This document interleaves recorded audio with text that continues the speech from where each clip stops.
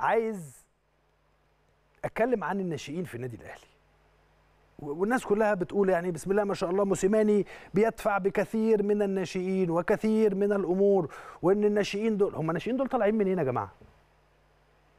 الناشئين دول الحقيقة إذا كنت بحيي موسيماني على جرأته في الدفع بالناشئين وكذا وكذا لكن أنا بحيي كابتن خالد بيبو آه، مدير قطاع الناشئين ومستر بروكيتش أيضا المدير الفني لقطاع الناشئين بحييهم جدا جدا جدا. وكل العاملين بقطاع الناشئين أنا لما بتكلم على كابتن خالد بيبو وأتكلم على بروكيتش لأنهم هم هم اللي موجودين الباقي كل أو على رأس المنظومة. فأنا لما بأحيي كابتن خالد بيبو أو كابتن أو مستر بروكيتش على هذا الأمر فأنا آه، بأحيي كل قطاع الناشئين في النادي الأهلي. بح- بأحيي كل العاملين من إداريين ومدربين ولاعبين في النادي الأهلي لأنهم آه، في ناشئين النادي الأهلي لأنه اللي حضراتكم شايفينه ده وان أنتوا بتقولوا إن في فلان وعلان أنا مش عايز أقول أسماء لكن إن انت حضرتك كأهلاوي أو كجمهور النادي الأهلي بتقول إن إن فلان ده كويس وعلان ده كويس ويستحق الفرصة الفترة اللي جاية وكذا وكذا وكذا على فكرة كل ده بفلوس. ال ال الناس دي بدل ما أجيب لعيب من بره وادي له 20 و30 و50 مليون جنيه ما ندي اللعيب بتاعي ابني اللي أنا مربيه جوه حضني وعارف هو بيلعب إزاي. ممكن زي ما بتشوف كده النادي الاهلي آه، يستحق كل التحية وإدارة كرة القدم وعلى رأسها كابتن محمود الخطيب يستحق كل التحية كابتن محمود الخطيب.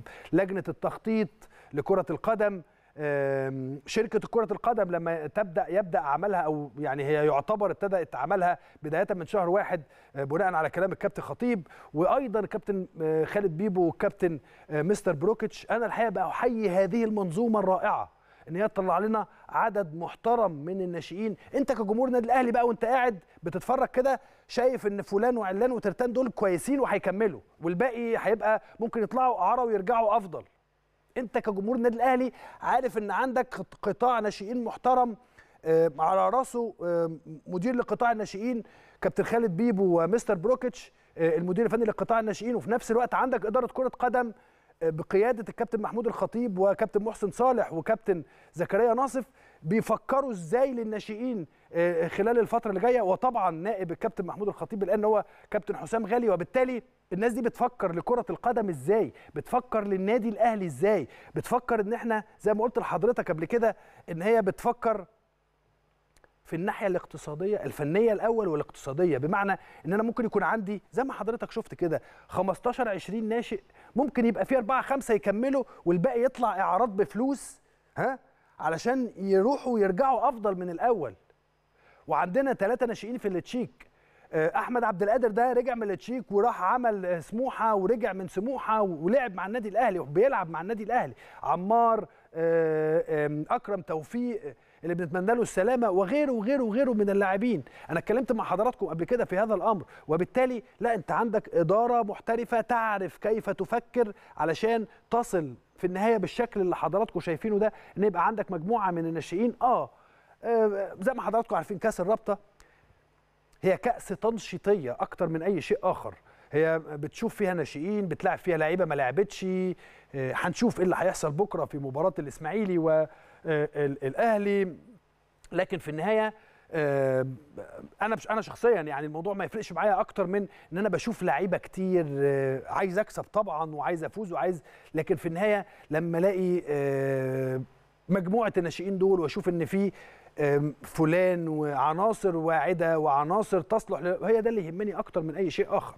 زي ما جمهور الأهلي واعي لمثل هذه الأمور. الناس كل الناس اللي بتكلمني وبتبعت لي بتقول لي هذا الأمر. إحنا يهمنا إن إحنا نشوف زي محمد لعيب كويس قوي مش عايز أقول أسماء برضه عشان يعني لكن عندنا لعيب واثنين وثلاثة وأربعة وخمسة يقدروا يلعبوا ويستفيد بيهم النادي الأهلي خلال الفترة اللي جاية. هو ده المهم الشكل العام اللي حضراتكم أو اللي إحنا بنتكلم فيه هو ده المهم. طبعا مع الفوز محدش بس عشان إيه أنا عايز أكسب وعايز آخد البطولة. النادي الأهلي ما بيخشش بطولة غير لما بيبقى عايز ياخدها.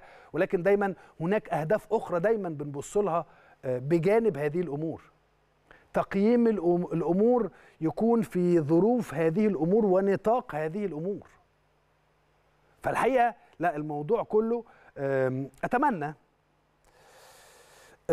لأنه ده مهم جدا ودي رسالة لكل أصدقائي وأخواتي ومحبين النادي الأهلي اللي ما بيحبوش النادي الأهلي كمان من المحللين والخبراء في كرة القدم وأنا عارف إن هم أكثر علما مني في كل شيء وكل حاجة ولكن عايزين لما نيجي نتكلم التقييم يبقى منطقي في إطار الماتش وعلمي وفي ظروف الموضوع. وفي ظروف البطولة يعني دي بطولة تنشيطية أكتر من أي شيء آخر. فيها ماتشات أنا في ماتشات بتفرج عليها أكتر من ماتشات منتخب أكتر من ماتشات أمم أفريقيا. فخلينا نراعي كل الظروف الخاصة بهذا الأمر لكن كل واحد حر. ما, ما عنديش أي مشكلة. لأن أنا في الآخر كنادي أهلي أنا بحاول أحافظ على مستقبل الناشئين دول. وبدل ما بصرف مثلا 100 مليون أنا عندي استعداد أصرف ال 100 واجيب فيهم خمس ست لاعبين احسن ما أجيب 10 مثلا. مثلا يعني لأنه هيبقى عندي ال 100 دول أخليهم 90 80 70 بوجود الناشئين اللي أنا بقول لحضراتكم عليهم بوجود الكابتن خالد بيبو والشغل اللي بيعمله وبوجود مستر بروكيتش واللي بيعمله وإدارة كرة عارفة كويس. وعلى فكرة راس مال شركة كرة القدم خلال الفترة اللي جاية الناشئين اللي حضراتكم شايفينهم المواهب اللي حضراتكم شايفينهم دول. اللي إحنا اللي النادي الاهلي بيصرف عليهم عشان بعد كده لو طلعوا بره يجيبوا لي فلوس. أو لو أنا استفدت منهم يبقى أنا بصرف على ابني. وبزود القيمة قيمتي كلاعب يضاف جديد للفريق. فالكلام ده كله بيترجم. هو النادي الاهلي ليه النادي الاهلي دايما خلال الأربع سنوات اللي فاتت أو من من خلينا نتكلم من أول ما بدأت جائحة كورونا. ليه النادي الأهلي واقف على رجله وبقية الأندية زي ما حضراتكم بتشوفوا كده اللي بياخد من هنا واللي لكن النادي الأهلي هو الوحيد اللي واقف على رجله. ليه؟ لأن هناك تفكير جيد في طريقة الصرف. هناك تفكير جيد في الإنكم اللي داخل. في كل مليم بيعمله النادي الأهلي. عملية الاستثمار في كرة القدم مدروسة مش عشوائية وخلاص. ارمي ده هنا وهات ده هنا وقطاع ناشئين وسرح وناس بتمشي من ما عندناش إحنا الكلام ده. كل حاجة بتبقى على قد ما بيستطيعوا يعني بتبقى مدروسة وممكن واحد أو اتنين يروح منك لكن في النهاية الموضوع كله في إطار احتياجات النادي الأهلي. دايما الموضوع بيبقى كده. فأنا بكرة إن شاء الله نتفرج على ماتش كويس وماتش رائع وكل حاجة ونشوف مجموعة الناشئين اللي موجودين دول هيعملوا إيه في ظل وجود واحد زي حسام حسن في ظل وجود كريم فؤاد في ظل وجود عمار حمدي بقية اللاعبين اللي موجودين كل دول نقدر نشوف ونستفيد من الولاد الصغيرين يستفيدوا من وجود هؤلاء الكبار اللي موجودين. اللي عايز ينتقد ينتقد. اللي عايز يخبط في اللاعبين يخبط. لكن دول يا جماعة ناشئين. ناشئين النادي الأهلي. هم دول المستقبل الفترة اللي جاية. وهتقولوا إسلام أنا إسلام مش إسلام اللي قال إدارة الأهلي هي اللي شايفة هذا الأمر. بشكل جيد جدا.